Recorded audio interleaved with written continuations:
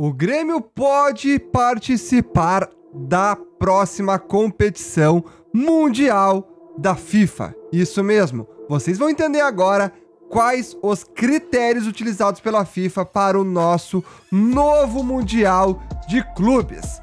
Mas antes quero dar um recado rápido aí para vocês sobre a UniTV, para vocês que querem assistir futebol e filmes e séries e muito mais de graça.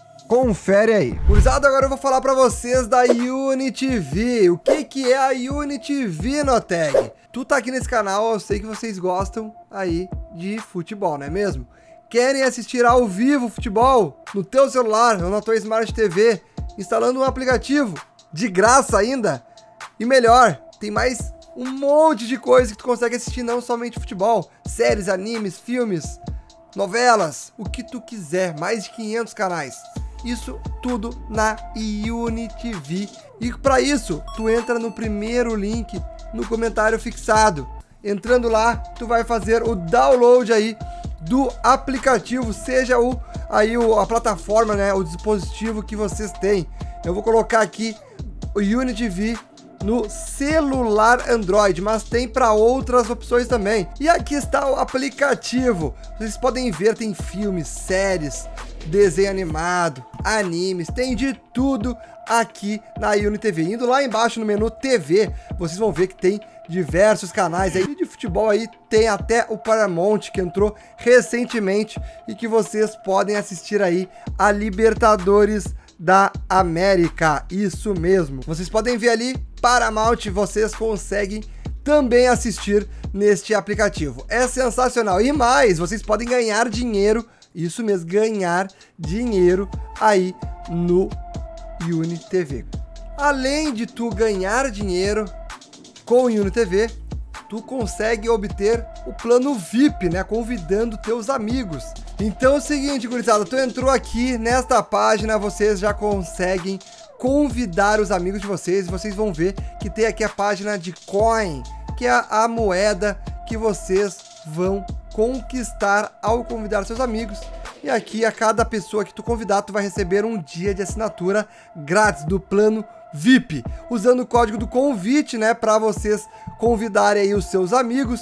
Vocês vão ganhar vários cupons aí para totalizar aí em até 514 reais. Então vai lá na UniTV que além de tu assistir muito de graça, tu ainda pode ganhar dinheiro. Primeiro link no comentário fixado. Então, gurizada, vamos agora falar sobre o novo Mundial de Clubes e por que que o Grêmio pode participar já em 2024. O critério para garantir aí a vaga no Mundial mudou e agora com esse novo formato, o Grêmio pode participar. Não só o Grêmio, como alguns clubes do Brasil aí que não ganharam Libertadores uh, nos últimos anos, mas que poderão participar. Vou explicar um pouquinho para vocês como isso vai funcionar. Então, nesta terça-feira, a FIFA divulgou, então, em seu congresso anual, mais detalhes sobre o novo Mundial de Clubes que vai ser disputado a partir de 2025, com 32 clubes a cada quatro anos. E o anúncio trouxe novidades importantes para o futebol brasileiro. A primeira decisão é que os continentes com pelo menos quatro vagas no Mundial terão os, os campeões continentais dos quatro anos anteriores com presença confirmada. Isso significa que os vencedores da Libertadores de 2021, 2022, 2023 e 2024 estarão garantidos no torneio. A Comebol terá um total aí de seis vagas no Mundial. O critério para definir os outros dois representantes da América do Sul será o ranking respeitando aí o período entre 2021 e 2024. Mas no caso do Brasil, o país não terá neste Mundial de 2025 outros representantes pelo ranking.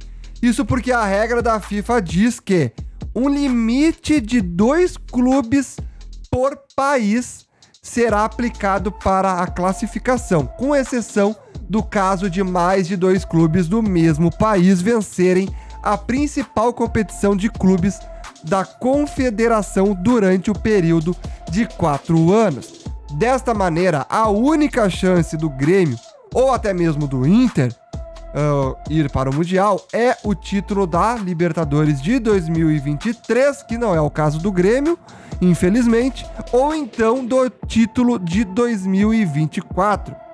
No caso, aí, uh, se os clubes do Brasil, né, sem contar o Flamengo e o Palmeiras, que já venceram a Libertadores de 2023 e de 2024, a gente vai ter então quatro brasileiros no Mundial. Neste caso, as duas vagas pelo ranking da Comebol ficariam para os clubes de outros países da América do Sul. Infelizmente, a gente não vai poder ter aí os, o, o, o Grêmio ou até mesmo né, o Internacional por conta do ranking, apenas vencendo de fato a Libertadores.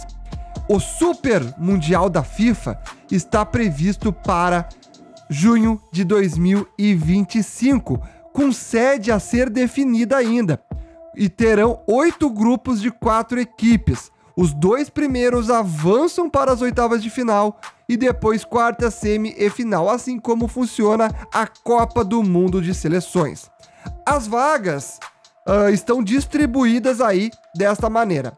Na Europa tem 12, na América do Sul tem 6, a Ásia tem 4, a África tem 4, a América do Norte, Central e Caribe tem 4, a Oceania tem 1 e país sede tem a vaga uh, solitária aí, né? Seja o país, digamos, a lá, mano, vai lá pra Arábia Saudita. Aí o país sede vai ter vai ter uma, um, um time aí para representar. Digamos Al Hilal, Al Nasser, Al Ittihad, seja o time que for.